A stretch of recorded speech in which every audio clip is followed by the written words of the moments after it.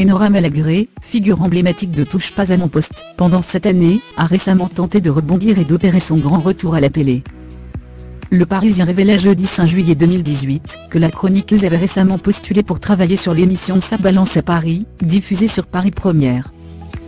Datalan et Marc Egalin à l'émission, présente l'actualité culturelle du moment, qu'elle soit cinématographique, musicale, littéraire, photographique ou théâtrale. À lire aussi Caroline, mariée au premier regard, sa grand-mère très critiquée, elle réagit Florian, marié au premier regard, sa rupture avec Charlène, il réagit Charlène, mariée au premier regard, et Florian insulté, la candidate réagit.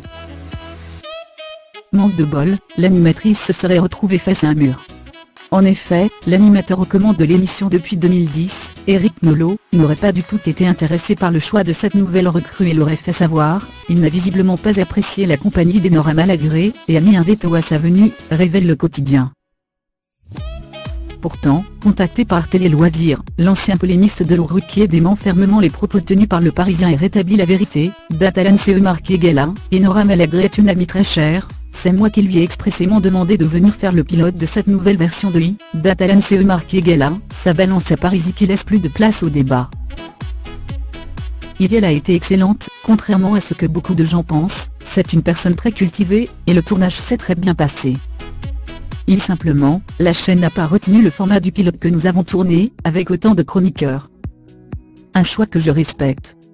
Mais si le pilote avait été validé, Enora Malagré fera sans hésitation partie de mon émission. Le 30 mai 2017, Enora Malagré annonçait son départ de la bande à Cyril Hanouna sur C8, une annonce choc qui en avait surpris plus d'un.